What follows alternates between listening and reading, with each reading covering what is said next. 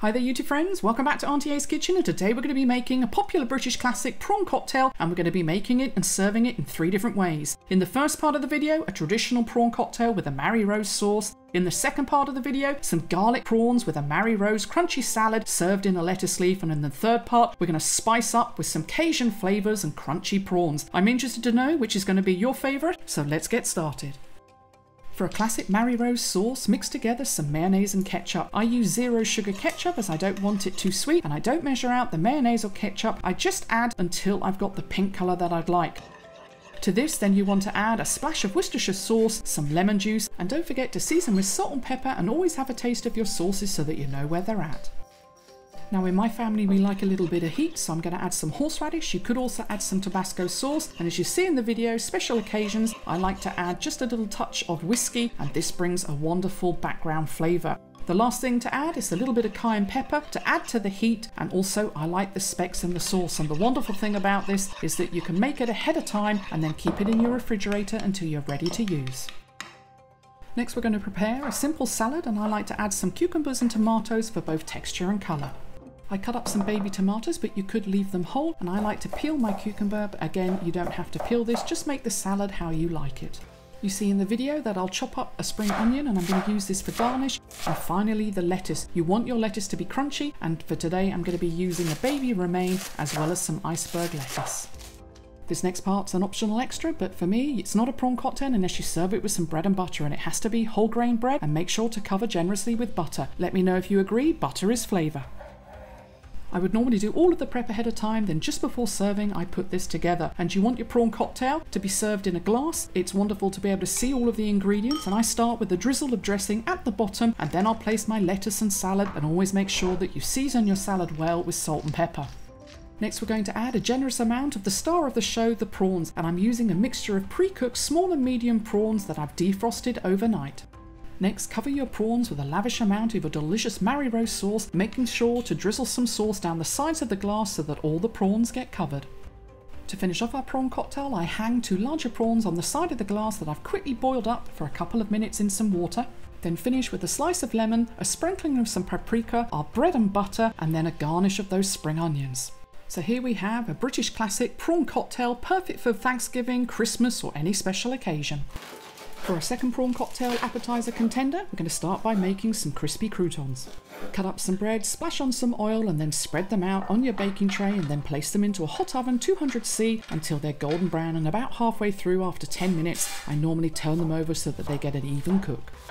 Roughly chop up some red onion and then we're going to put two spoons of this into our sauce. Now the sauce you see I've not remade, this is just some left over from our first prawn cocktail. This is a really flexible recipe and you'll see that I don't measure out any of the ingredients. It just depends on how many prawn cocktails I'm making. And for today, just to show you, I'm making one and I want the sauce to be really chunky, so I'm going to fill it with lots of vegetables. Next, we're going to roughly chop up two baby tomatoes and I like using the small tomatoes because they're not so watery. Finally, we're going to cut and chop up half an avocado. Normally when making guacamole, I choose more of a soft avocado, but for today we want more of firm avocado so that it has a little bit of a bite to it. Chop it up, cover with some lemon juice to stop it going brown, and then make sure to season well with some salt and pepper. Then go ahead and add your avocado into your sauce and you see in the video I'm trying not to add any extra lemon juice into the sauce. Give it a quick mix before then adding the tomatoes, a final mix and then you can cover this, put it in your refrigerator until you're ready to use. The prawns are very easy and very quick to cook, so into a pan add some oil, butter and some garlic. Let the garlic cook in your pan for a couple of minutes before then adding some red pepper flakes. Let this cook for a couple of minutes and then add your prawns to the pan. As always, this is a flexible recipe, so feel free to use any type of prawns that you like. I believe these are king prawns that I've left defrosting overnight. Let them sit in your garlic butter for a couple of minutes, add some lemon juice to the pan before turning them over, and as you can see in the video, these really don't take long to cook at all. Place them onto a plate, take your pan off the heat, and we're going to be using some of this garlic butter later. The assembly of this prawn cocktail couldn't be any easier. You're going to double layer some baby romaine lettuce leaves and this is just going to make it a little bit more sturdy for people that want to be able to pick this up. Then place a generous amount of your crunchy salad in each of the leaves. Onto this, place your delicious garlic prawns and place as many as you can fit into the lettuce leaf and then top this with some of your crunchy croutons. Next you want to drizzle over some of that liquid gold that was left over in the pan, not only to maximise in flavour but we don't want to waste anything.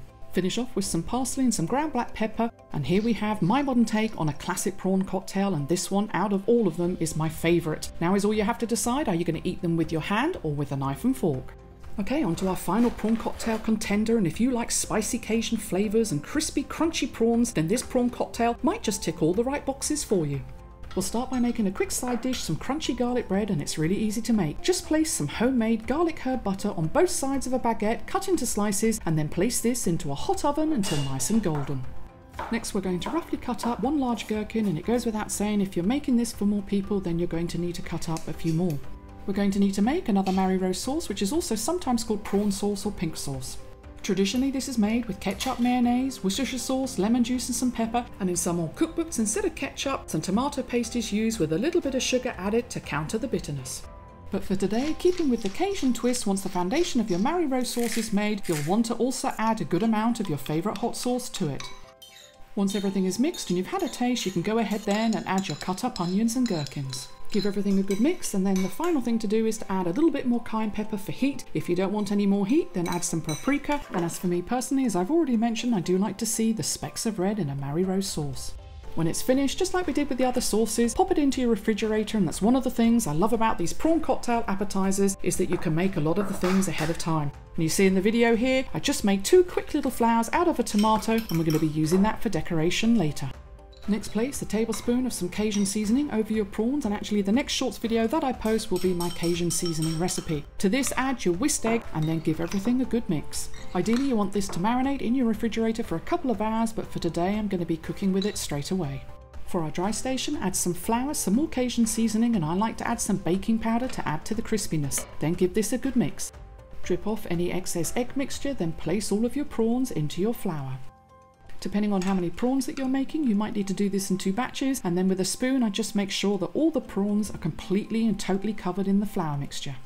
Shake off any extra flour, then place them onto a plate, and if you haven't already, put some neutral oil into a pan and get this heating up. You've seen me do this a million times on the channel. To see if your oil's ready, you can either put in a little bit of flour to see if it sizzles, or I like to place a wooden spoon to see if there's bubbles around. When your oil is up to temperature, place in your prawns away from you as you don't want to get hit with any of the fat. These aren't going to take very long to cook, just a few minutes on each side, and make sure to turn them over. Then when they're golden brown, remove them from the pan. When you remove your prawns, place them onto some kitchen towel or a wire rack because you want to drain off any excess oil and don't forget to hit them with some salt straight away. For this prawn cocktail I like to serve the Marie Rose sauce on the side so it's easy to dip the prawns in or people can choose to pour the sauce over their salad whatever they'd prefer. Because the prawns are crunchy, we're going to serve a dark leaf salad with some avocado drizzled with lemon juice and of course the salad season. Add your crispy fried prawns to the salad tail up so that it's easy for people to grab. And I didn't mention it earlier, but I'm using frozen tiger prawns that I defrosted overnight and then deshelled just before soaking them. Add your tomatoes in the middle for a little bit of decoration and don't forget your side order of garlic bread. To finish off, a little sprinkling of paprika over our Marie Rose sauce, a slice of lemon to be able to squeeze over the prawns, and some parsley, and we're ready to feast. So there you have it, prawn cocktails served in three different ways, traditional, my upgraded, modern day version, and then Cajun inspired flavours, crispy prawns. So please let me know in the comments which one would be your favourite. Thank you so much for watching. Cook's Privilege now. I'm going to enjoy this crispy prawn before my family come in and devour this. And if you haven't already, may I ask that you please hit that like button, consider subscribing for more simple and delicious recipes. Until the next video, God bless.